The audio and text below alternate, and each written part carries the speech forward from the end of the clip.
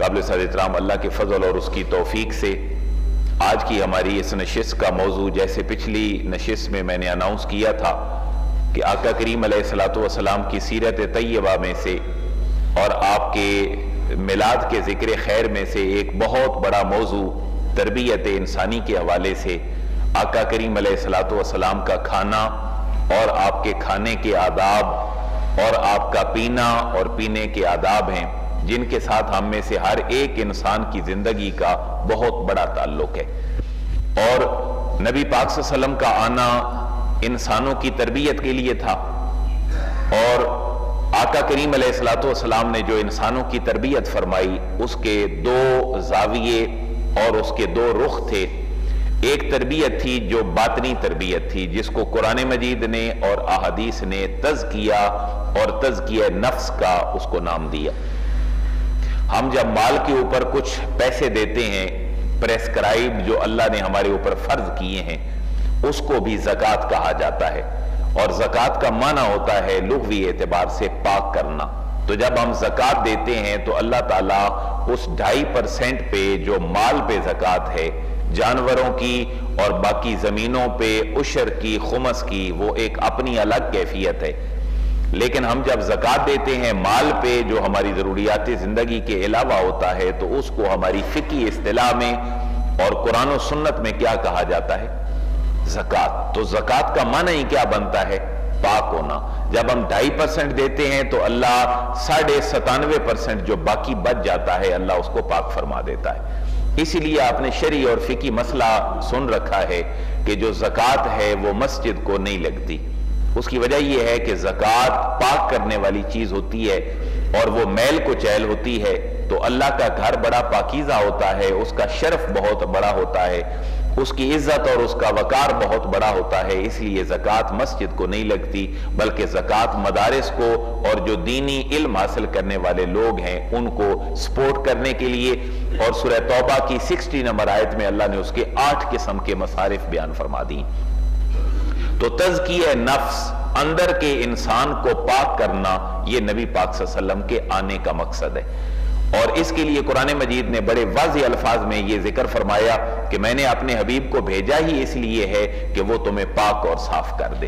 تو سب سے پہلا انسان کی جو پاکی کا زینہ ہے وہ اندر کے انسان کی پاکی ہے جس کو تقوی اور تزکیہ نفس کہا جاتا ہے۔ آپ اگر سوال کریں اور آپ کے ذہنوں میں سوال اٹھے کہ یہ پاکیزگی اور تزکیہ نفس اس کے لیے نبی پاک صلی اللہ علیہ وسلم نے کیا کیا؟ تو آپ یہ دیکھیں کہ آقا کریم علیہ السلام کے آنے سے انسانوں کو عقائد ملے اور ان کے سابقہ عقائد کی اصلاح ہو گئی۔ وہ اللہ کو نہیں مانتے تھے، وہ کافر تھے۔ اللہ کو مانتے تھے لیکن بتوں کے بغیر نہیں مانتے تھے، وہ مشرق تھے۔ اللہ نے ان کی عقیدے کی اصلاح فرما دی، تزکیہ نفس کا معاملہ شروع ہو پڑا۔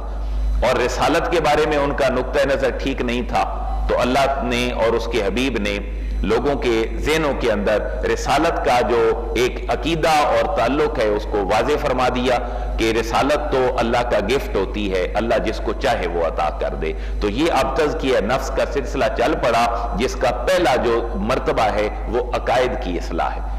اور عقائد کے بعد بات ختم نہیں کی کہ عقیدہ ٹھیک کر کے بیٹھ جاؤ، بلکہ ایک بہت بڑا پورشن ہمیں اس کے بعد دیا جس کو عبادات کہا جاتا ہے کہ اپنے ہر کام میں اللہ کے حکم کو اور نبی کی سنت کو مد نظر رکھو، یہ کلمہ شہادت ہے۔ اور اس کے بعد نماز ہے، روزہ ہے، حج ہے، زکوٰۃ ہے۔ تو اسلام کا نظام عبادات بھی انسان کے اندر تزکیہ اور تقوی کی کیفیت پیدا کرتا ہے۔ آپ جتنے بھی پلر آف اسلام ہیں، ان کو اگر ڈیپلی پڑھ کے دیکھیں، تو اللہ تعالیٰ نے ہر ایک کا مقصد جو ہے، وہ تزکیہ نفس رکھا ہے۔ مثلا، آپ نے بڑی مشہور آیت مبارکہ سنی ہے اور پڑھ رکھی ہے کہ ان الصلاة تنہا عن الفخشاء والمنکر۔ نماز کس کس چیز سے روکتی ہے؟ بے حیائی اور برائی سے روکتی ہے۔ تو بے حیائی اور برائی سے رک جانا یہی تو تقوی ہے۔ کہیں ایسا نہیں ہوا کہ ہماری پڑھی ہوئی نماز برائی کرتے ہوئے ہمارے سامنے آ کے کھڑی ہو جائے اور وہ ہمیں فورس کرے کہ تم نے برائی نہیں کرنی۔ ایسا تو کبھی نہیں ہوا۔ لیکن نماز کرتی کیا ہے؟ نماز جب اللہ کی بارگاہ میں ہمیں جھکاتی ہے تو ہمارے اندر کے انسان کو پاک کر دیتی ہے۔ پھر انسان کے اندر وہ صلاحیت پیدا ہو جاتی ہے جس میں وہ نیکی کے کام کرتا ہے۔ اور اس کے بعد پھر اسلام نے ہمیں بہت بڑا ایک ٹاپک دیا ہے معاملات کا۔ ڈیلنگ ایک دوسرے کے ساتھ۔ اور یہ معاشرت پہ مبنی ہوتی ہے۔ میاں بیوی سے خاندان شروع ہوتا ہے، وہ کل کے میاں بیوی پھر ماں باپ بن جاتے ہیں، بیٹے بیٹیاں بن جاتے ہیں، پھر ان کی فیملیز میں رشتہ دار بن جاتے ہیں اور ان کے ساتھ پھر ہمسایوں کا تعلق ہے۔ ایک پورا معاشرہ ڈیولپ ہو جاتا ہے۔ یہ ساری جتنی چین ہے، معاشرت کی، معیشت کی، سیاست کی، یہ سارے کا سارا تزکیہ نفس کے لیے ہے، انسان کو پاک کرنے کے لیے۔ تو گویا کہ اندر کے انسان کو پاک کرنے کے لیے ہمیں پانچ عقائد دیے۔ عقید توحید عقید رسالت، آخرت پہ ایمان، ملائکہ پہ ایمان اور آسمانی کتابوں پر ایمان۔ اور ہمیں عبادات بھی کتنی دی نماز کس سے روکتی ہے؟ بے عیائی اور برائی سے۔ اے ایمان والو، روزے رکھو، تم سے پہلے لوگوں پر بھی روزے فرض کیے گئے۔ مقصد کیا؟ بیان فرمایا، لعلکم تتقون، تاکہ تمہارے اندر کا انسان پاک ہو جائے۔ دیکھیں، باہر کی پریکٹس کروا کے اندر کے انسان کو بہتر کیا جا رہا ہے۔ دیکھیں، انسان بھوک برداشت کرتا ہے انسان پیاس برداشت کرتا ہے، تو اس سے مقصود کیا ہے کہ اس کے اندر کا تزکیہ اور اندر کا انسان جو ہے وہ پاک ہو جائے۔ لیکن اندر کی تربیت کے ساتھ اللہ اور اس کے رسول نے ہماری ظاہری تربیت کا بھی بندوبست کیا ہے۔ جس کا لامحالہ تعلق ہمارے باطن کے ساتھ ہے۔ ان میں سے ایک نبی پاک صلی اللہ علیہ وسلم کی سیرت طیبہ کا پہلو، جس میں سے ہمارے معاشرے کا کوئی فرد اس سے خالی نہیں ہے، وہ ہے کھانا، پینا اور گزر اوقات کرنا۔ ایک بہت بڑا امیر آدمی اور ایک غریب سے غریب آدمی بھی ان کا کھانا کھائے بغیر گزارا نہیں ہے۔ اس لیے نبی پاک صلی اللہ علیہ وسلم کے کھانوں کو سمجھنا، آپ کے کھانوں کی ترتیب سمجھنا، یہ ہمارے لیے بہت ضروری ہے۔ میں آپ کی انفارمیشن کے لیے اور آپ کو راغب کرنے کے لیے کہ آپ بزرگوں کی کتابوں کو پڑھیں، قرآن پڑھیں، حدیث و سنت پڑھیں اور بزرگوں کا کیا ہوا کام پڑھیں۔ میں چار کتابیں جو قرآن و حدیث کے علاوہ تشریحی نوٹس ہیں جو آپ کے جمعہ کے لیے میں نے اس کو اپنے مطالعے کے لیے پڑھا۔ ان میں سب سے پہلی کتاب کشف الماجوب ہے، جس کے رائٹر آپ سب جانتے ہیں، حضرت سید علی بن عثمان المعروف داتا گنج بخش علی حجویری رحمت اللہ تعالیٰ علیہ۔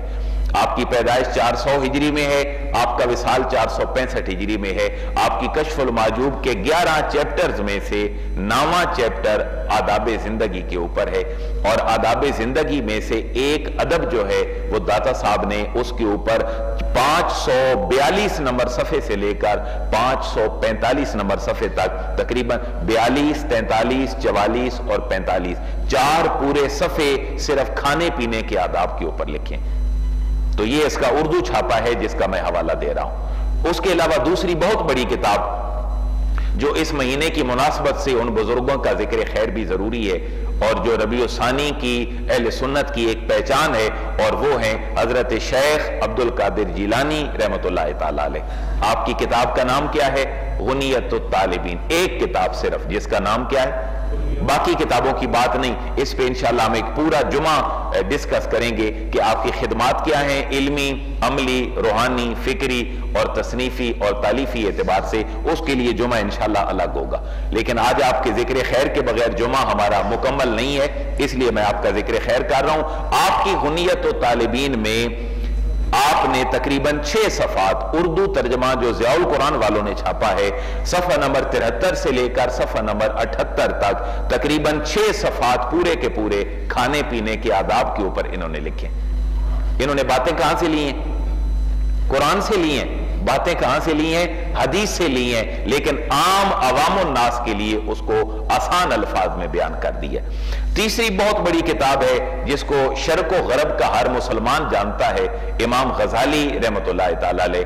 آپ کا وصال 606 ہجری میں ہے۔ آپ کی بڑی مشہور زمانہ کتاب ہے، احیاء العلوم۔ کہ آپ نے علوم کو زندہ کیا اور علوم کو لوگوں تک پہنچایا۔ آپ نے اپنی کتاب کی جو اردو ترجمہ چھپا ہے، کراچی سے دارالشاعت والوں نے، اس کے جلد دوم کے صفحہ نمبر تیرہ سے لے کر صفحہ نمبر انتالیس تک تقریباً چھبیس صفحات صرف اور صرف کھانے پینے کے آداب کے اوپر لکھے۔ اور تیسرا ریفرنس ہے، چوتھا ریفرنس ہے، مدارج النبوہ، شاہ عبد الحق محدث رحمت اللہ تعالی علیہ، آپ کی کتاب کا اردو ترجمہ جو ضیاء القرآن والوں نے ہی چھاپا ہے، جو میرے پاس ہے۔ اس کی دوسری جلد کا جو باب نمبر گیارہ ہے، اس کے صفحہ نمبر پانچ سو انچاس سے لے کر پانچ سو پینسٹھ تک تقریباً سولہ صفحات صرف کھانے پینے کے آداب کے اوپر انہوں نے ذکر کر دی۔ ان کے زمانے دیکھیں جی داتا صاحب کی پیدائش کب ہے؟ چار سو ہجری میں۔ حضور غوث پاک کی جو پیدائش ہے وہ کب ہے؟ چار سو ستر میں۔ امام غزالی کا وصال چھ سو چھ میں۔ پیدائش کنفرم نہیں۔ مختلف اقوال ہیں۔ اور مدارج و نبوہ شاہ عبدالحق محدث دلوی آج ہم دو ہزار انیس گزار رہے ہیں اور آج سے ساڑھے چار سو سال پہلے کی شخصیت شاہ عبدالحق محدث دلوی پتا چلا ہر زمانے میں لوگوں نے انسانی عادات کو بہتر بنانے کے لیے قرآن و سنت سے سامان لے کر لوگوں کی اصلاح کر دی۔ اب یہ ساری تمہید باندھنے کے بعد اسلام کا پہلا پوائنٹ کھانے پینے کے اعتبار سے کیا اسلام کھانے پینے کی اجازت نہیں دیتا؟ اجازت دیتا ہے۔ اس کے بغیر انسانی زندگی ممکن نہیں۔ لیکن سارے اسلام کی تھیوری یہ ہے کہ اسلام کھانے پینے کے لیے زندہ رہنے کو کبھی پسند نہیں کرتا۔ اور آج کا انسان کھانے پینے کے لیے ہی زندہ ہے، جس کی وجہ سے اس کے لیے مسائل ہیں۔ اما عائشہ فرماتی ہیں، رضی اللہ تعالیٰ عنہ، طیبہ طائرہ کہ میں نے جب سے نبی پاک صلی اللہ علیہ وسلم کا گھر سنبھالا اور میں آپ کے پاس حاضر ہوئی، میں نے کبھی تین دن مسلسل محمد اور آل محمد کو پیٹ بھر کر کھانا کھاتے ہوئے نہیں دیکھا۔ یہ اس گھر کی بات ہے۔ کیا فقر تھا، غربت تھی؟ ایسی بات نہیں تھی۔ امت کے لیے ایک سکھانا مقصود تھا کہ تمہاری زندگی کا مقصد صرف کھانا اور پینا نہیں باقی نبی پاک سلم نے ہمیں احادیث ملتی ہیں کہ آقا کریم علیہ السلام نے سیر ہو کر کھایا۔ جی بھر کر کھایا اور آپ نے اللہ کا شکر ادا کیا۔ لیکن مقصد کیا ہے؟ صرف جواز کے لیے کہ پیٹ بھر کر کھانا بھی حرام نہیں ہے، یہ حلال ہے۔ لیکن اسلام پریفر اس بات کو کرتا ہے کہ کھانے کے لیے زندہ نہ رہو، بلکہ زندہ رہنے کے لیے جتنا ممکن ہو اتنا کھا لیا کرو۔ اور کبھی کبھی آپ جب زیادہ نوش فرماتے، آپ زیادہ کھاتے، تو آپ پھر ذکر فرماتے، اللہ تعالیٰ نے مجھے کھلا کر میری کمر کے اندر طاقت پیدا کر دی ہے کہ میں اس کی بارگاہ میں کھڑے ہو کر اس کی عبادت کروں۔ یہ نبی پاک صلی اللہ علیہ وسلم کے کھانے کا انداز تھا۔ اس لیے جب کھائیں تو کھانے میں ہماری نیت مختلف قسم کی ہو سکتی ہے۔ مجھے جان مل جائے، مجھے طاقت مل جائے، میں ہینڈسم ہو جاؤں، میرا فگر ٹھیک ہو جائے، میرے مسل مضبوط ہو جائیں۔ اور ایک یہ ہے کہ کھا جتنا بھی لے، لیکن اپنی نیت یہ کر لے، مجھے اللہ طاقت دے گا، مجھے اللہ جو صلاحیت دے گا، میں اس کی دی ہوئی نعمتوں کے شکرانے کے بدلے میں میں اس کی عبادت کروں گا۔ اس لیے اسلام کھانے کا حکم دے رہا ہے، کھاؤ، لیکن اس کے لیے شرط یہ ہے کہ کھاؤ ایسا جو حلال کا ہو۔ آقا کریم علیہ السلام نے فرمایا، ایک بندہ ہاتھ اٹھا کر اللہ کی بارگاہ میں دعا کرتا ہے اور کہتا ہے، یا ربے یا ربے یا ربے، اے میرے رب، اے میرے رب، میری دعا سن لے۔ نبی پاک وسلم نے فرمایا کہ اس کا تو کھانا بھی حرام ہے، اس کا تو پینا بھی حرام کا ہے، اس کا تو لباس بھی حرام کا ہے، تو فَأَنَّا يُسْتَجَاب۔ اس کو اللہ کی بارگاہ سے جواب کیسے آئے؟ اس لیے پہلا اصول اسلام نے کیا دیا کہ جب کھاؤ ضرور، لیکن پہلا نقطہ نظر کیا ہو؟ حلال کا کھاؤ اور حضور غوث پاک نے اپنی کتاب میں یہ غنیت و طالبین ہے۔ حضور غوث پاک نے فرمایا، کھانے کے چار فرائض ہیں، کھانے کی چار سنتیں ہیں، کھانے کے چار مستحبات ہیں۔ آپ نے جو فرائض لکھے ہیں، اس میں آپ نے لکھا ہے، بندہ مومن کے لیے سب سے پہلا کھانے میں فرض یہ ہے کہ وہ پہلے یہ دیکھ کے کھائے کہ میں کیا کھا رہا ہوں۔ یہ اس کے لیے فرض ہے۔ کہ میں کسی آرام کا مال کھا رہا ہوں یا میں کسی امیر کا مال کھا رہا ہوں۔ اور بزرگوں نے تو یہ بات بھی لکھی کہ حرام کمائے ہوئے شخص کی دعوت پہ جانا بندے مومن کو کبھی زیبا نہیں۔ جس کو یہ معلوم ہے کہ اس آدمی کا رزق حلال نہیں ہے، وہ وہاں کبھی بھی نہ جائے اور اس کی دعوت بھی قبول نہ کرے۔ چار سنتیں ہیں، چار مستحبات ہیں۔ ہمارا یہ موضوع دو جمعے لے گا۔ میں نبی پاک صلی اللہ علیہ وسلم کے کچھ معقولات جن پہ تمام بزرگوں نے بات کی، میں چند ایک حدیث مبارکہ جن کے اندر 27 احادیث ہمارے آج کے لیکچر کا موضوع ہیں، یہ آپ خود پڑھیے گا بھی۔ آقا کریم علیہ السلام نے مختلف مواقع پر مختلف چیزیں کھائیں۔ ذرا میری ہر حدیث کے بعد ٹیلی کرتے جائیے گا کہ میرا اور آپ کا نظام خوراک کیا نبی پاک وسلم کی سنت کے مطابق ہے یا ہمارا لائف سٹائل کچھ اور بن چکا۔ نبی پاک صلی اللہ علیہ وسلم نے ایک کھانے کو پسند فرمایا، نہایت ہی آپ کو پسند تھا، جس کا عربی میں جو نام ہے وہ تلبینہ ہے۔ اور یہ صحیح بخاری کے حدیث ہے، پانچ ہزار چار سو سترہ۔ تلبینہ کیا ہے؟ آپ کا جو پانی میں یا دودھ میں اس کو پکا کے میٹھا کرنے کے لیے اس کے اندر کھجور یا شہد ڈال کر کھانا یہ آقا کریم علیہ السلام کی سنت مبارکہ تھی۔ تو آج ہمیں بھی اگر کوئی بیماری ہو کولسٹرول کا مسئلہ ہو، اور مسائل ہو یا کوئی بیماری ہو ویکنس ہو، عمومی طور پر ڈاکٹر کیا سجیسٹ کرتا ہے؟ کہ جو کا دلیا کھائیں دلیا کھائیں، جو کا دلیا استعمال کریں۔ اس کی شیپس مختلف بدل گئیں۔ لیکن آقا کریم علیہ السلام نے کھایا، میٹھا کرنے کے لیے اس میں شہد آپ نے استعمال فرمایا یا کھجوریں آپ نے استعمال فرمائی اما عائشہ فرماتی ہیں، جب بھی ہمارے کسی گھرانے میں یا ہمارے کسی شہر میں فوتگی ہو جاتی تو ہمیں آقا کریم علیہ السلام حکم دیتے، تلبینہ تیار کرو۔ کیوں کہ یہ مجمت لفواد المریض ہے۔ جب کوئی بیمار بھی ہوتا تو اس کے لیے تلبینہ بنایا جاتا۔ جہاں کہیں مرگ ہو جاتی تو اس گھر والوں کے لیے بھی تلبینہ بنایا جاتا۔ کیوں؟ وہ ذہنی سٹریس میں چلے گئے لوگ جن کی فوتکی ہو گئی۔ تو لائٹ سا کھانا ان کو تجویز کیا گیا۔ آقا کہیں فرماتے ان کے لیے تلبینہ پکاؤ کیونکہ ان کو حزن، ملال اور غم پہنچا ہے۔ تو ان کا جو سٹومک اور میدہ ہے، شاید وہ ٹھیک کام نہیں کرے گا۔ ان کو نرم غذا دو تاکہ یہ اپنے غم کو بھی بھلا سکے۔ اور اس کے علاوہ مریض کو بھی آپ نے سجیسٹ فرمایا، صحیح بخاری کی پانچ ہزار چار سو سترہ نمبر حدیث ہے۔ آقا کریم علیہ السلام نے ایک اور چیز کو پسند فرمایا اور آپ کی سنت مبارکہ ٹھہری، جس کو سرید کہا جاتا ہے۔ سے تین نقطوں والی، رے، یہ اور دال۔ سرید کیا ہے؟ عمومی طور پر ہمارے معاشرے میں مشہور ہے کہ آپ شوربے کے اندر روٹی بھگو کر اس کو آپ کھا لیں تو یہ سرید ہے۔ لیکن اس کا بڑا براڈ سا ایک ویژن بھی ہے کہ آپ کسی بھی چیز کو لیکوڈ طریقے سے اگر استعمال کرتے ہیں یا گرینڈ کر کے تو آپ کہہ سکتے ہیں کہ یہ سرید کے معنوں میں استعمال ہوتا ہے۔ تو نبی پاک صلی اللہ علیہ وسلم نے سرید کو پسند فرمایا۔ نبی پاک صلی اللہ علیہ وسلم کا سرید کو پسند فرمانا پھر حضور نے مثال بڑی پیاری دی۔ کہ گھر والی عورتوں کی طرف بھی اس کی توجہ دلائی۔ دیکھیں سرید کھانا بناتا کون ہے؟ خواتین، گھر کی۔ نبی پاک صلی اللہ علیہ وسلم کی سنت مبارکہ کیا ہے؟ آپ نے فرمایا، کامل من الرجال کثیر ولم یکمل من النساء الا مریم و آسیہ. حضور نے فرمایا، مرد بڑے کمال ہوئے۔ اللہ نے نبی بھیجے ایک لاکھ چوبیس ہزار۔ لیکن عورتیں بڑی تھوڑی ہیں جو کامل عورتیں ہوئی ہیں۔ پرفیکٹ اور جنٹل جو ایک فطرت رکھتی ہیں۔ تو نبی پاک صلی اللہ علیہ وسلم نے فرمایا، وہ دو عورتیں ہیں جو بڑی عظیم عورتیں ہیں۔ آپ نے فرمایا، ایک ہے مریم بنت عمران اور ایک ہے آسیہ جو فرعون کی بیوی ہیں۔ لیکن آپ کی زوجہ محترمہ پاس بیٹھی تھی، اما عائشہ صدیقہ طیبہ طاہرہ، آپ نے ان کی تسلی کے لیے مثال ارشاد فرمائی۔ آپ نے فرمایا وفضل عائشہ علی النساء کفضل سرید علی سائر کوئی میرے گھر کی خاتون کو بھی ہلکا نہ سمجھے۔ میری عائشہ کی فضیلت، ساری کائنات کی عورتوں پر ایسی ہے جیسے سارے کھانوں کے اوپر سرید کی فضیلت۔ کیونکہ نبی پاک صلی اللہ علیہ وسلم کو سرید پسند تھا۔ آپ لیکوڈ طریقے سے شوربے کے اندر اور بھگو کر چیزوں کو استعمال فرماتے، اس کو کیا کہتے ہیں؟ سرید اس کی وجہ کیا ہے؟ آج اگر آپ جدید میڈیکل سائنس میں دیکھتے ہیں، آپ کے میدے کو اور آپ کی آنتوں کو اتنا ورک نہیں کرنا پڑتا جتنا آپ پہلے سے ہی کھانے کو نرم کر کے اور خوب چبا کے اپنے اندر بھیجتے ہیں، تو پھر اس سے بیماریاں نہیں لگتی پیٹ بڑا نہیں ہوتا، موٹاپا نہیں آتا۔ اس لیے نبی پاک وسلم کی دو سنتیں تلبینہ اور سرید ایک ایسی غذائیں ہیں کہ جن پہ تھرٹی اور فورٹی پرسنٹ یہ کھانا پیٹ میں اور منہ میں جانے سے پہلے ہی نرم غذا کے طور پر نرم بن چکا ہوتا ہے۔ اس لیے تلوینہ پسند فرمایا اور اس کے علاوہ سرید پسند فرمایا۔ پھر آقا کریم علیہ السلام نے جو کدو ہے ادبا جس کو عربی میں کہا جاتا ہے، آپ اس کو بڑا پسند فرماتے اور حضرت انس رضی اللہ تعالیٰ عنہ سے روایت ہے کہ نبی پاک صلی اللہ علیہ وسلم اپنے ایک غلام کے پاس تشریف لے گئے جو درزی تھا، آپ کے کپڑے سلائی کرتا تھا۔ انہوں نے نبی پاک صلی اللہ علیہ وسلم کے سامنے ایک پیالہ پیش کیا، جس میں سرید تھا۔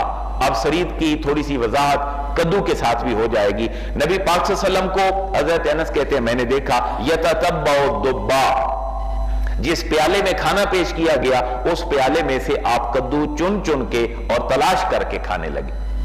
پتہ چلا وہ جو شوربہ تھا اس کے اندر کدو تھے، وہ لیکوڈ مادہ تھا اور آپ نے شوربے کو اور اس کے کھانے کو پسند فرمایا۔ حضرت انس کہتے ہیں، جب میں نے دیکھا کہ نبی پاک صلی اللہ علیہ وسلم پیالہ سے کدو تلاش کر رہے ہیں، تو میں پھر چن چن کر حضور کے سامنے رکھنے لگا۔ اور نبی پاک صلی اللہ علیہ وسلم اس کو بڑی دل لگی سے کھانے لگے۔ حضرت انس فرماتے ہیں، ذل تو بادو احب الدبا۔ اس کے بعد میں بھی آج تک کدو کو پسند کرتا ہوں۔ تو یہ بھی لیکوڈ کیفیت تھی، شوربے کی کیفیت تھی۔ آپ نیوٹریشن پوائنٹ آف ویو سے دیکھیں، غذائی اعتبار سے دیکھیں تو آپ کی یہ سبزیاں آج دیکھیں، لوگ جو ہے وہ ویجیٹیبل کی طرف آ رہے ہیں، سبزیوں کی طرف آ رہے ہیں۔ بجائے اس کے کہ وہ میٹ اور گوشت کو زیادہ استعمال کریں، بیماریاں بڑھنے لگ گئیں۔ تو نبی پاک صلی اللہ علیہ وسلم کی یہ غذائیں ہماری سبزیوں کے اوپر زیادہ مشتمل ہیں۔ آج ہم عموماً ان چیزوں کی طرف دھیان نہیں کرتے، لیکن اللہ تعالیٰ نے انسان کو بہتر صحت اس کی رکھنے کے لیے، تاکہ وہ اللہ کی بارگاہ میں جھکتا رہے، اس کو صحت ملتی رہے، اس کو طاقت ملتی رہے، چھوٹی چھوٹی چیزوں میں، جن کو آپ گھریلو نسخے اور گھریلو ٹوٹکے کہتے ہیں۔ نبی پاک صلی اللہ علیہ وسلم نے اس کی وضاحت فرما دی ہم تفسیر، ہم تصویر کا صرف ایک رخ دیکھتے ہیں، ہم دوسرا رخ نہیں دیکھتے۔ آپ اندازہ کریں ذرا۔ ایک نبی پاک صلی اللہ علیہ وسلم کا فرمان ہے اور آپ کی سنت ہے کہ لہسن، پیاز اور ایسی چیزیں جن کی خوشبو یا آپ سمیل ہوتی ہے، نبی پاک صلی اللہ علیہ وسلم نے کیا فرمایا؟ ان کو کہاں نہ کھایا کرو، مسجد میں نہ کھا کے آیا کرو۔ اس تصویر کا دوسرا رخ پھر کیا ہے؟ کہ اللہ کے حبیب فرمانا چاہتے ہیں کہ مسجد کی جو دیر ہے، یہاں کھا کے نہ آؤ، لیکن ان کو اپنے گھروں میں بڑی کثرت کے ساتھ استعمال کرو۔ تاکہ تمہارے جو مسائل ہیں بیماریوں کے، تمہارے جگر کے، میدے کے، گردے کے، تمہاری کو فیٹس ہیں، ان کے لیے فیٹی لیور کی پرابلم ہے۔ فرمایا، اس کے لیے لہسن اور پیاز استعمال کیا کرو۔ تو نبی پاک صلی اللہ علیہ وسلم نے اس کو کثرت سے استعمال فرمایا۔ اور یہ نبی پاک صلی اللہ علیہ وسلم کے زمانے سے پہلے کی باتیں ہیں جو بنی اسرائیل کو اللہ نے کھانے دیے۔ اور پکا پکایا کھانا آتا تھا آسمان سے، جس کا بڑا مشہور لفظ اس کے لیے کیا ہے؟ منو سلوہ۔ مختلف توجیہات ہیں کہ کیا پکا ہوتا تھا۔ بھونے ہوئے بٹیر ہوتے تھے۔ جیسے آپ کی برف باری ہوتی ہے، اسی طرح کی میٹھی چیزیں بھی رب تعالیٰ بھیجتا۔ وہ ان کو رکھتے، کھاتے، سٹور بھی کر لیتے۔ تو نبی پاک صلی اللہ علیہ وسلم نے ان چیزوں کو، اور پھر حضرت موسیٰ علیہ السلام سے جب انہوں نے کہا کہ ہم آپ کے رب پر ایمان تب لائیں گے جب آسمان کے بجائے ہمیں زمین سے کھانا ملے۔ تو قرآن نے وہاں پر ذکر کیا میں بکلے ہا و فوم ہا و عدس ہا و بسل ہا آپ پیاز کو اردو میں کیا کہتے ہیں؟ وصل بسل یا پیاز بھی کہہ دیتے ہیں، پنجابی میں اس کو بسل اور وصل بھی کہتے ہیں۔ تو قرآن نے اس کا لفظ کیا استعمال کیا؟ میں بکلے ہا و فوم ہا و عدس ہا و بسل ہا آپ کے جتنے بھی انگریڈینٹس ہیں جن سے آپ کا سیلڈ بنتا ہے یا جن سے آپ کا آپ سمجھ لیں کہ اس کے لیے، کھانا کھانے کے لیے عمومی طور پر ساتھ سیلڈ کے ساتھ اور کیا بناتے ہیں؟ لیکوڈ سا جس کو ہم عموماً کھا لیتے ہیں۔ جی؟ چٹنی سی اور اس کے لیے بلکہ ایک اور لفظ ہے میرے ذہن سے نکل گیا رہتا آپ کا رہتا جو بنتا ہے عمومی طور پر وہ جن چیزوں سے بنتا ہے ساری چیزیں قرآن میں بہتر طریقے سے بیان فرما دی گئی اس کے علاوہ نبی پاک صلی اللہ علیہ وسلم نے ہمارا ہاں ہماری توجہ نہیں ہے اس بات کی طرف۔ نبی پاک صلی اللہ علیہ وسلم نے بہت ساری چیزوں کی بہت زیادہ تعریف بیان فرمائی۔ آج آپ دیکھیں تو سرکہ کتنی بڑی اہمیت کا حامل ہے۔ نبی پاک حضرت ام سعد سے روایت ہے کہ نبی پاک صلی اللہ علیہ وسلم اما عائشہ کے پاس آئے۔ تو ام سعد بھی خاتون ہے اما عائشہ بھی خاتون ہے دونوں کہیں اکٹھی بیٹھی تھیں نبی پاک صلی تشریف لائے۔ آپ نے پوچھا، حل من غدا؟ عائشہ کچھ کھانے کے لیے ہے؟ تو نبی حضرت اما عائشہ نے جواب دیا کہ ہاں آقا، ہمارے پاس روٹی، کھجور اور سرکہ ہے۔ روٹی، کھجور اور سرکہ ہے۔ تو نبی پاک صلی اللہ علیہ وسلم نے فرمایا، دیکھیں تینوں میں سے چوائس دیکھیں۔ روٹی بھی ہے، کھجور بھی ہے، سرکہ بھی ہے۔ آپ نے فرمایا، نعم الادام الخل، سب سے بہترین سالن سرکے کا سالن ہے۔ اور آپ نے پھر ایک دعا فرمائی۔ آپ نے فرمایا اللہ مبارک فی الخل، اللہ سرکے میں برکت عطا فرما۔ اور جس گھر میں سرکہ ہو، آپ نے فرمایا، ولم یفتکر بیت فی خلن، کسی ایسے گھر میں جہاں سرکہ موجود ہوتا ہے۔ حضور نے فرمایا، کبھی اس گھر میں فقر نہیں آتا۔ کبھی اس گھر میں محتاجی نہیں آتی۔ اور آپ نے فرمایا کہ فَإِنَّهُ كَانَ اِدَامَ الْأَنبِيَاءِ قَبْلِ مجھ سے پہلے میرے سارے بھائیوں کا بہترین اور پسندیدہ سالن سرکہ ہوا کرتا تھا۔ تمام انبیاء کی خوراک میں کیا شامل رہا؟ سرکہ شامل رہا۔ نبی پاک صلی وسلم نے اس کی تعریف بیان فرمائی۔ ایک جملے پہ غور کریں، حضور نے کیوں ارشاد فرمایا کہ جس گھر کے اندر سرکہ ہو، وہاں فقر نہیں آتا۔ اب ہم کچھ چیزوں کی مراد، اپنی من مانی مراد لے لیتے ہیں۔ ہم نے عموماً چیزیں دیکھی کہ معاملہ کچھ اور تھا، لیکن ہم سمجھ کچھ اور بیٹھے۔ ذرا غور کریں، ذہن دوڑائیں۔ حضور نے کیوں فرمایا جس گھر میں سرکہ ہو، وہاں فقر نہیں آتا؟ پھر پتہ چلا ایک بوتل گھر میں رکھ لیں سرکے کی، بھر کے تو غربت نہیں آئے گی۔ ایسی بات نہیں تھی۔ حضور کے فرمانے کا مطلب یہ تھا، جس گھر میں سرکہ ہو، وہاں بیماری نہیں آتی، وہاں فقر نہیں آتا۔ کیوں؟ جو سرکہ استعمال کرے گا، اس کو بیماری نہیں آئے گی۔ اور جس کو بیماری نہیں آئے گی، وہ علاج نہیں کروائے گا۔ اور جو علاج نہیں کروائے گا، اس کے پیسے نہیں لگیں گے۔ اور جس کے پیسے نہیں لگیں گے، اس کو کبھی فقر نہیں آئے گا۔ اس کے گھر کے اندر پیسے محفوظ رہیں گے۔ لہذا ہر کام کے اندر بڑی توجہ بیان فرما دی۔ آپ نے فرمایا، بہترین سالن کیا ہے؟ سرکہ تو میرے بھائی، یہ سرکہ استعمال کرنا، یہ میلاد النبی کا یہ مہینہ، یہ ہمیں درست دے کے جا رہا ہے کہ ساری حضور کی سیرت اپناؤ۔ میلاد کی ہر محفل میں تمہارے ایمان کو تازگی ملے اور تمہارا ایمان جوش مارے۔ اور تم گیارہ مہینے عمل کی طرف راغب ہو جاؤ، اپنا جو غذائی پروسیجر ہے، اس کو بھی تم مکمل کر لو۔ یہ بھی نبی پاک صلی اللہ علیہ وسلم کے میلاد اور سیرت طیبہ کا ایک صدقہ ہے۔ پھر آپ نے فرمایا کہ یہ تو ہے عمدہ سالن۔ نبی پاک صلی اللہ علیہ وسلم نے فرمایا، سالنوں کا سردار، وہ کیا چیز ہے؟ حضرت انس بن مالک سے روایت ہے، نبی پاک صلی اللہ علیہ وسلم نے فرمایا، سید و ادام الملح، تمہارے تمام سالنوں کا سردار نمک ہے، اس کو بطور سردار تم استعمال کیا کرو۔ دیکھیں نا، سردار وقت پہ آتا ہے نا، یا چوبیس گھنٹے موجود رہتا ہے، وقت پہ آتا ہے، اس کی مصروفیت ہوتی ہے۔ فرمایا، جتنا تمہارا سردار کے ساتھ تعلق ہوتا ہے، اتنا تھوڑا سا ہی تمہارا تعلق کس کے ساتھ ہو؟ یعنی کہ حضور کیا فرمانا چاہتے ہیں، نمک کتنا استعمال کرو؟ تھوڑا استعمال کرو۔ کیونکہ جو سالنوں کا سردار ہے، وہ کیا ہے؟ نمک ہے، وہ مصروف آدمی ہوتا ہے، ملتا نہیں ہے، اس لیے آپ بھی اس کو اتنی استعمال کرو کہ تمہارا ٹیسٹ بھی ڈیولپ ہو جائے، لیکن تمہارے اندر جو بیماری ہے وہ بھی نہ آئے۔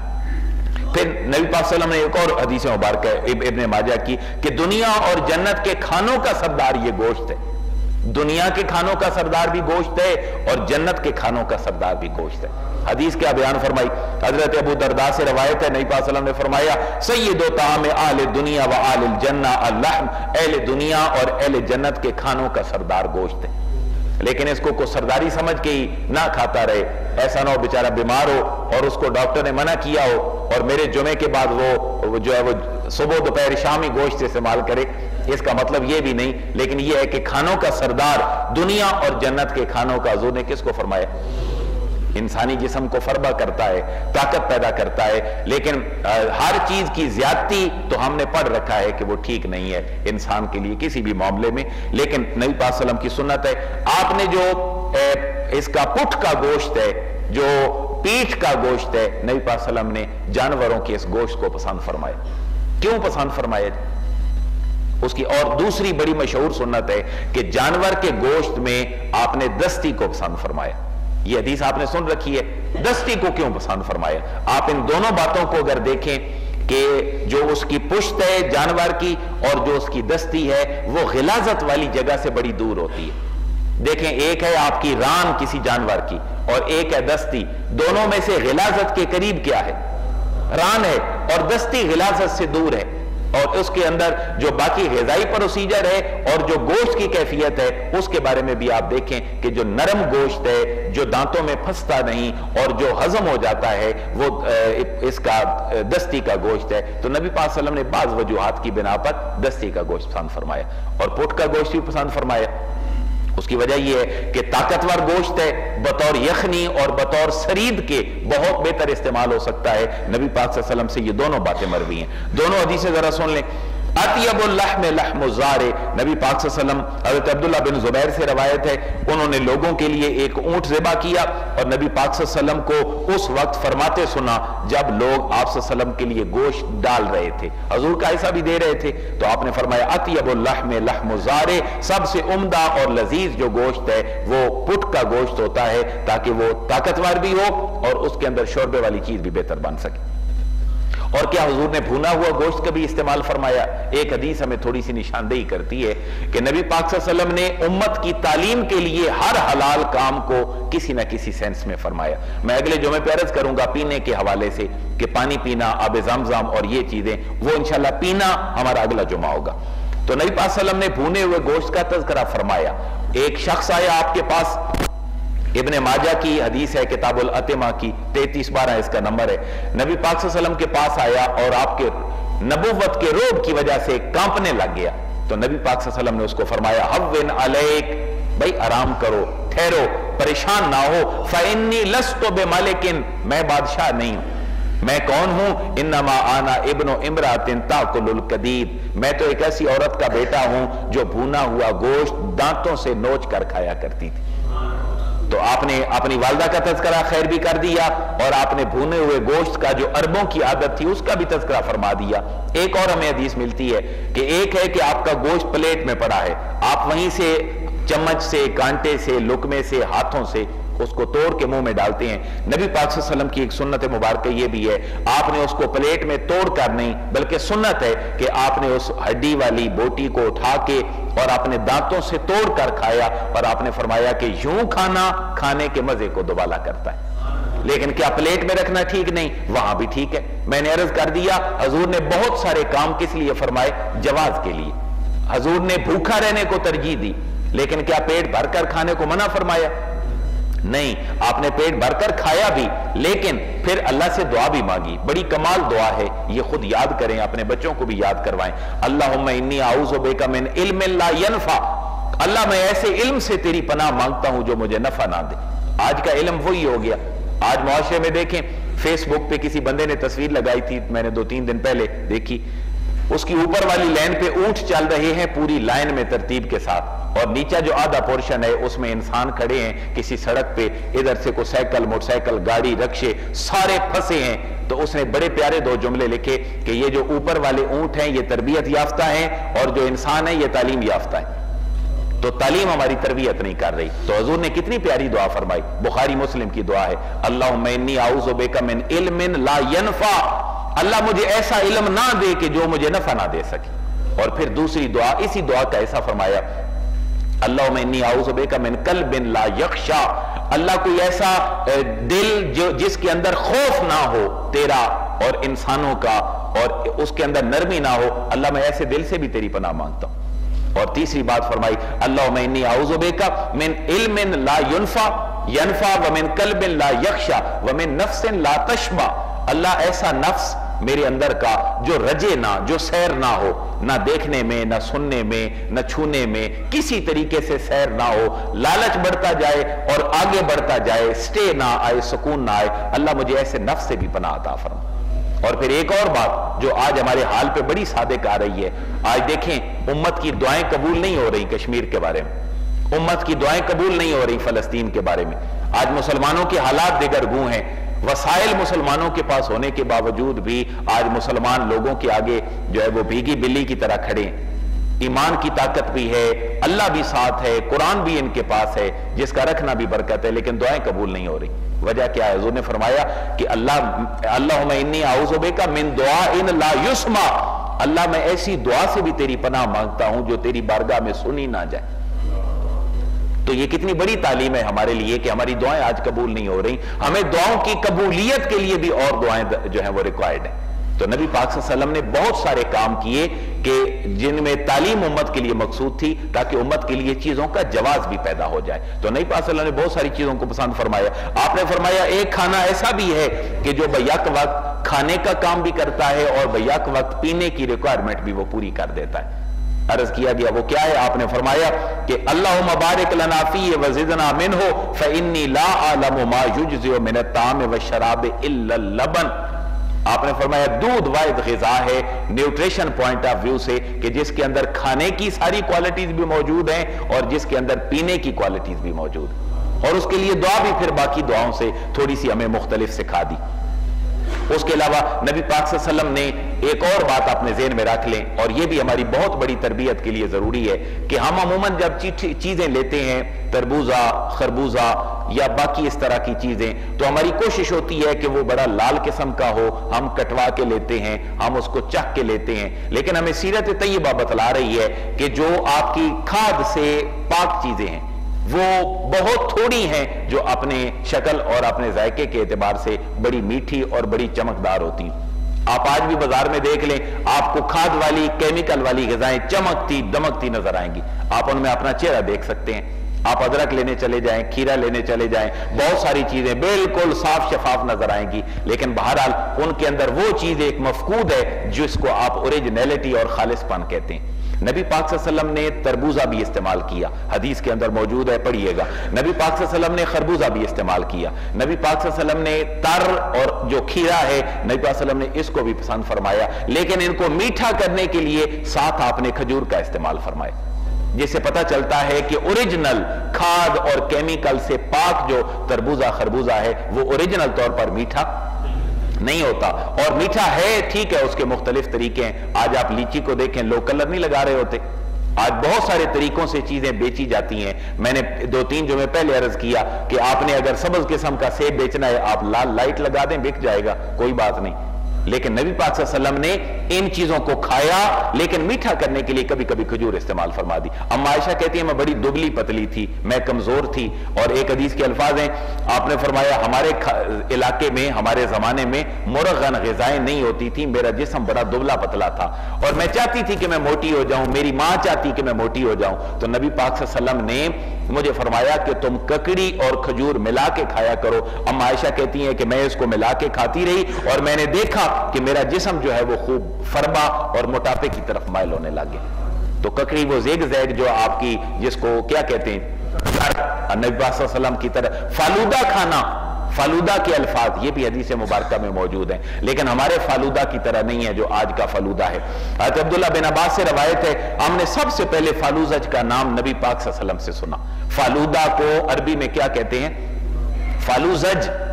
فے الفا لام، واو، زال اور جیم۔ فالوزج۔ حضرت عبداللہ بن عباس کہتے ہیں، ہم نے رسول اللہ سے سب سے پہلے فالوزج کا نام اس وقت سنا جب جبریل امین نبی پاک صلی اللہ علیہ وسلم کی خدمت میں حاضر ہوئے اور آپ کو کہا کہ اے اللہ کے عبید آپ کو بشارت ہو کہ آپ کی امت بہت سارے ملکوں کو فتح کرے گی اور ان کے پاس مال و دولت کا بڑا انبار ہوگا۔ تو اور وہ فالودہ کھائیں گے۔ یہ دو بشارتیں دے کے امت ملکوں کو فتح کرے گی، ان کے بعد بہت زیادہ مال و دولت ہوگا اور وہ فالودہ کھائیں گے۔ حضور نے فرمایا کہ جبریل، مل فالوزج یہ فالودہ کیا ہے؟ تو جبریل امین نے کہا کہ لوگ شہد اور جو گھی ہے، اس کو ملا کے کھائیں گے، اس کو نبی پاک صلی اللہ علیہ وسلم کو فالودہ کی شکل بتائی گی گھی اور آپ گاؤں کی اگر ثقافت دیکھیں تو وہاں اگر خالص مکھن ہو، دیسی، اور اس کے اوپر آپ شہد ڈال دیں تو اس کی جو طاقت، اس کی جو نیوٹریشن ہے، وہ اپنی مثال اپنے ذائقے کے اعتبار سے بھی عام ہے۔ اس لیے فرمایا کہ یہ فلودہ بھی حدیث نئی پاسلم نے چپڑی ہوئی روٹی بھی کھائی، اس میں کوئی دوسری رائے نہیں ہے۔ لیکن میں نے عرض کیا کہ آج ہمارا رویہ یہ ہو گیا، چوبیس گھنٹے کی بنیاد پر access of everything is بری ہے۔ لیکن تلی ہوئی چیزیں روسٹڈ چیزیں وہ ڈیپ فرائیڈ چیزیں یہ انسانوں کے لیے اتنی ٹھیک نہیں ہے جتنی غذائیت کے اعتبار سے نبی پاک صلی اللہ علیہ وسلم نے ہمیں ترغیب دی۔ چوپڑی ہوئی روٹی کیسے کھائی؟ حضور کا ایک موجزہ مبارکہ بھی ہے۔ حضرت انس بن مالک سے روایت ہے کہ میری والدہ ام سلیم نے نبی پاک صلی اللہ علیہ وسلم کے لیے روٹی تیار کی۔ تو انہوں نے جب روٹی تیار ہونے لگی تو حضرت انس بن مالک کی والدہ حضرت ام سلیم کہتی ہیں کہ میں نے اپنے بیٹے کو بھیجا، انس کو جاؤ حضور کو بلا لا۔ میں نے ان کے لیے کھانا بنایا۔ نبی پاک صلی اللہ علیہ وسلم کے پاس حضرت انس گئے، آپ نے اپنی والدہ کا پیغام دیا، حضور تشریف لائیں۔ تو نبی پاک صلی اللہ علیہ وسلم کے ساتھ جتنے لوگ تھے، آپ نے سب کو لے لیا اور حضرت انس کے گھر آ کے کھانا کھانے لگ پڑے۔ آئے، حضرت انس چونکہ بچے تھے، تو دوڑ کے پہلے اپنی ماں کے پاس چلے گئے، ام سلیم کے پاس عرض کرنے لگے کہ والدہ، آپ نے تو حضور کو بلایا تھا، یہ تو پورا جتھا صحابہ کرام کا حضور کے ساتھ ہمارے گھر آ رہا ہے۔ روٹی کیسے پوری ہوگی؟ جب تشریف لے آئے اندر تو نبی پا نبی پا وسلم نے فرمایا، ہاتھی ما سناتے ام سلیم جو پکا ہے لے آؤ۔ اور حضرت انس کہتے ہیں، مجھے حضور نے فرمایا، انس تو دروازے کے اوپر کھڑا ہو جا اور ادخل علیہ عشرتن عشرتن میرے پاس دس دس بندے، میرے پاس بھیجتا جا، میرے دسترخوان پہ۔ سنن ابن ماجہ، کتاب الاتمہ حدیث نمبر تیتیس بیالیس۔ تو حضرت انس کہتے ہیں کہ میں کھڑا ہو گیا، نبی پاک صلی اللہ علیہ وسلم دسترخوان پہ بیٹھ گئے۔ ایک چپڑی ہوئی روٹی ہے جو تمام لوگ کھا رہے ہیں۔ حضرت انس کہتے ہیں، میں دس دس لوگ بیٹھتا رہا، سب نے سیر ہو کے کھانا کھایا۔ حضرت انس سے پوچھا گیا، تعداد کتنی تھی؟ وہ کہتے ہیں، اسی تعداد تھی جنہوں نے ایک روٹی موجزہ مصطفیٰ کے ساتھ کھا لی۔ اللہ نے اس کے اندر اتنی برکت عطا فرما دی۔ تو جواز امت بھی بیان کر دیا۔ پھر آج آپ جس بھی حکیم کے پاس جائیں، ڈاکٹر کے پاس جائیں، ہم جب کھاتے ہیں تو پھر اتنا ہی کھاتے ہیں کہ بس سانس نکلتا رہے۔ صوفیاء کہتے ہیں، اتنا کھاؤ کہ سانس باقی رہے۔ اور ہمارا کھانا کیا ہے؟ اتنا کھاؤ کہ بس صرف تھوڑی سی سانس کی جگہ چھوڑ دو۔ تو جملے دونوں ایک ہیں، لیکن تبدیلیاں ان کے اندر زیادہ آ گئیں۔ صوفیاء کا قول کیا اتنا کھاؤ کہ سانس آتا رہے یعنی زندہ رہے۔ اور ہم انہی کی سنت پہ عمل کرتے، اس مفہوم کیا لیتے ہیں؟ اتنا کھاؤ کہ بس تھوڑا تھوڑا سانس نکلتا رہے، جگہ اتنی بچ جائے۔ حضور کا طریقہ کیا تھا؟ ابن ماجہ کتاب الحتمہ حضرت مقدام بن مادی کرب سے روایت ہے۔ میں نے رسول اللہ کو فرماتے ہوئے سنا، آدمی نے پیٹ سے زیادہ کوئی برا برتن اپنے پاس نہیں رکھا۔ پیٹ سے زیادہ برا برتن اپنے پاس نہیں رکھا۔ بڑا نہیں، برا برتن اپنے پاس نہیں رکھا۔ اور آدمی کے لیے کافی ہے کہ وہ اتنے لکمے کھائے جس سے اس کی پیٹ سیدھی ہو جائے۔ لیکن اگر آدمی پر اس کا نفس غالب آ جائے تو پھر کیا کرے؟ آپ نے فرمایا، ایک تہائی کھانے کے لیے پیٹ۔ اور میدا، ایک تہائی کھانے کے لیے، ایک تہائی پینے کے لیے اور ایک تہائی سانس لینے کے لیے چھوڑ رکھے۔ نبی پاک صلی اللہ علیہ وسلم کی یہ سنت مبارکت آپ یوں ہی کھاتے تھے، بہت ساری چیزیں اور بھی ہیں۔ اور چھنا ہوا آٹا، نبی پاک صلی اللہ علیہ وسلم نے پسند نہیں فرمایا۔ آج ہم میں سے بہت تھوڑے لوگ ہیں جو اپنی نیوٹریشن پوائنٹ آف ویو سے اپنے کھانے پہ توجہ دیتے ہیں۔ آج ہر شادی بیاہ میں ہمیں کھانے کے لیے کیا ملتا ہے؟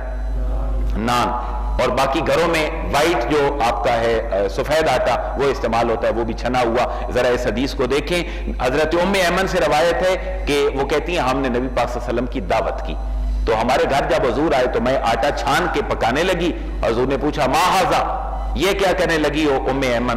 تو انہوں نے عرض کیا، حضور، ہمارے گھر جب کوئی ہائی پروفائل پرسنالٹی آتی ہے تو ہم اس کو چھنا ہوا آٹا جو ہے اس کی روٹی پکا کے کھلاتے ہیں۔ نبی پاک سلم کے جملہ سنے، آپ نے فرمایا، ردی ہے، فی ہے، جو تم نے چھان نکالا ہے، اس کو دوبارہ آٹے کے اندر مکس کر سما جنی ہے پھر اس کو تو گوند میں پھر کھاؤں گا، ورنہ چھنا ہوا آٹا میں نہیں کھاؤں گا۔ اور جب صحابہ کرام حضرت ابوبکر حضرت عمر، حضرت عثمان، حضرت علی مختلف علاقوں کی طرف گورنر روانہ کرتے تو پہلا جملہ کے ارشاد فرماتے؟ تم نے چھنا ہوا آٹا نہیں کھانا، اپنے گھر کے سامنے دربان نہیں بٹھانا، دونوں باتوں پہ ذرا غور کرو، کیا کہنا چاہتے ہیں خلفاء؟ کہنا کہنا یہ چاہتے ہیں تم گاڑی کے انجن ہو، اے عاملو، اے گورنر ہو تم گاڑی کے انجن ہو، اگر تم نے یہ چیزیں کھانا شروع کر دی تمہیں تو بیماریاں لاحق ہو جائیں گی۔ آج دیکھیں، انہی چیزوں کی وجہ سے ہمارے کھانوں میں فائبر نہیں ہوتا، ہمارے کھانوں کے اندر ایک چوکر کی کیفیت نہیں ہوتی جو ہمارے پیٹ کے اندر تھوڑی دیر رہ سکے اور ہمیں جلدی بھوک کا احساس نہ ہو، وہ اپنا پورا پروسیجر کرے۔ تو ہمارے زیادہ کھانے کی وجہ سے ظاہر ہے جو چیزیں باقی ہیں وہ کہاں جانی ہیں؟ آپ کے بلڈ کا ایسا بننی ہے وہ فیٹس بننی ہے اسی کی وجہ سے آپ کا بلڈ پریشر ہونا ہے، اسی کی وجہ سے آپ کی شوگر ہے اور اسی کی وجہ سے آپ کا کولیسٹرول ہے، اسی کی وجہ سے آپ کا یوروک ایسڈ ہے۔ یہ ساری بیماریاں کیوں ہیں؟ زیادہ کھانے کی وجہ سے۔ یہ ساری بیماریاں کیوں ہیں؟ زیادہ کھانے کی وجہ سے اور وہ کھانا کہ جو فوراً ہماری باڈی کا ایسا بن جاتا ہے، ہمارے پیٹ میں، میدے میں وہ رکتا نہیں ہے۔ مثلا ہم جوس پی لیتے ہیں، تو ٹھیک ہے، جوس پینا نرم غذا ہے، لیکن آپ پینے کے بعد آپ کو تو تھوڑی دیر بعد پھر فیل ہوگا کہ میں کچھ کھا پی لوں۔ تو آپ اگر اس کو فائبر کے ساتھ ہی کھا لیں چیزوں کے ساتھ اور وہ جو آپ کے اس کے شوگر والے مریض کو کیا ریکمینڈ کرتے ہیں ڈاکٹر کہ کیا استعمال کریں؟ چوکر استعمال کرے۔ آپ اگر چوکر والی ہی چیزیں استعمال کر لیں تو یہ سٹیج ہی نہ ہے جس کے اندر انسان بیمار ہو پائے۔ تو نبی پاک صلی اللہ علیہ وسلم کی یہ ساری باتیں ہیں۔ میرے بھائیو، اس کی طرف ہمیں غور کرنا ہے آج۔ اگر ہم نہیں کرتے تو ریزلٹ کیا ہے؟ آج ہر بندہ بیمار ہے، ہر بندے کو بیماری ہے۔ کیا آج انسان زیادہ فیسیلیٹیٹ ہے یا آج سے پہلے سہولیات کے اعتبار سے زیادہ فیسیلیٹیٹ دیکھیں کہ ہم نے ہر گلی محلے میں، اس پہ تھوڑا سا سوچئے گا، ہر گلی میں، ہر محلے میں جس کو کوئی کام نہیں آتا، وہ شارمے کی ریڈی لگا لے، وہ برگر کی ریڈی لگا لے، وہ جناب اور کیا چیزیں بکتی ہیں وہاں؟ Burger shawarma chips. مجھے بتائیں کیا یہ ڈاکٹروں کے پوائنٹ آف ویو سے میڈیکل پوائنٹ آف ویو سے ہمارے لیے ٹھیک ہے؟ ہمارے لیے کولڈ ڈرنکس کہاں؟ ہر شادی ہم رواج کے پیچھے چلتے ہیں being a human human being انسان ہونے کے ناطے ہم اپنی صحت کی طرف توجہ نہیں کرتے۔ اس لیے نبی پاک صلی اللہ علیہ وسلم کی سیرت کا ایک ایسا گوشہ جو آج معاشرے کے لوگوں کے سامنے ابھی ڈھکا ہے، ابھی چھپا ہے، وہ حضور کے کھانے ہیں، وہ حضور کے پینے ہیں۔ اللہ تبارک و تعالی ہمیں بہتر طریقے سے نبی پاک صلی اللہ علیہ وسلم کی سیرت سنت کو دیکھ کر آگے چلنے کی توفیق عطا فرمائے۔